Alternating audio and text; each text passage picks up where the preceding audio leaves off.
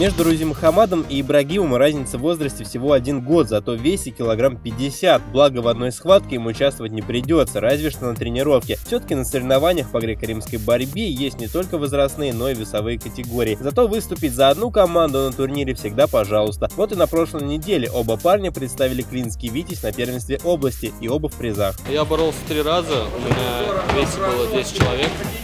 Ну, схватки были не очень сложные, если честно. Вот, в финале, да, хороший попался, а до него не очень.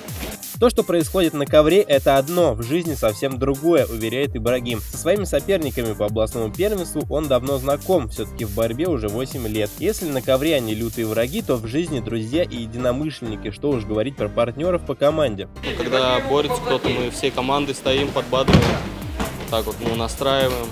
На сегодняшний день секция греко-римской борьбы в Витязе насчитывает порядка 100 человек. Ребят приводят начиная аж с пятилетнего возраста. Такие сначала осваивают ОФП, потом уже переходят непосредственно к борьбе. Заниматься всем вместе в одном зале немного тесновато, но в тесноте да не в обиде. Очень приятно, что у нас э, такое, такое посещение занятий.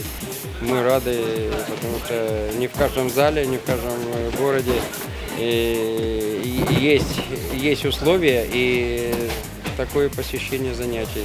Летом занятия на физику, в остальное время отрабатывают технику. Если говорить в целом, то примерно такой тренировочный график у борцов. Что касается достижений, то в этом воспитанники Витязя тоже регулярно преуспевают, выполняя сборную области. Ребята стараются, тренируются. Вот, ежедневные тренировки по два э, часа. Это очень хорошие так, плодотворные тренировки. А список достижений клуба его воспитанники могут пополнить уже в ближайшее время. Призеры первенства области поедут отстаивать честь региона на турнире Центрального федерального округа.